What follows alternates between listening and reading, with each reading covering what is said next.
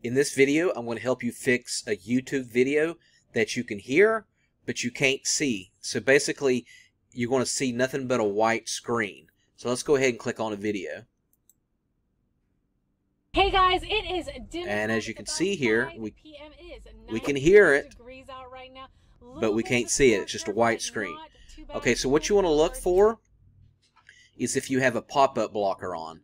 And YouTube has gotten smart the last few years, and they've blocked all uh, content if you've got a pop-up blocker. So unfortunately, you'll have to either get YouTube Premium or you'll have to watch the ads. So what you do, it depends on which browser you're using. So I'm using Google Chrome, but this will work if you got Firefox or whatever. So what you're going to do is go on the upper right of your browser, and I'm on Google Chrome. So you would either hit the logo, or for me, I'm going to hit the three dots in Chrome. And then I'm going to go all the way down to More Tools. And then I want to click on Extensions. And then this is going to show me all my extensions. So as you can see here, I want to look for any pop-up blocker. And sure enough, I have this one on, Ad Block. So what, what we're going to do is go ahead and disable it.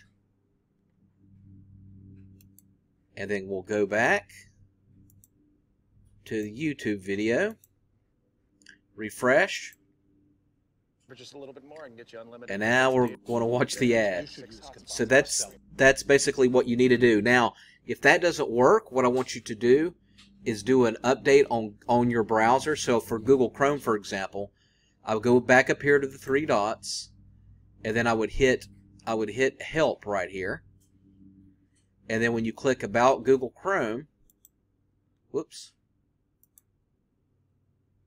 Help, About Google Chrome, it'll automatically update all your uh, updates for Google Chrome. So as you can see here, I have a few of them. So go ahead and update, and then see if that will work. All right, thanks so much for watching.